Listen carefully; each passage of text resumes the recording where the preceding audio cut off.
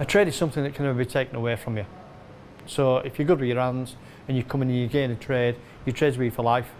Um, you know, no matter how hard it is out there with regards industry, um, you know, jobs, you've always got a trade that's there. It's, it, you know, it, it, can never be taken away from you, like I say.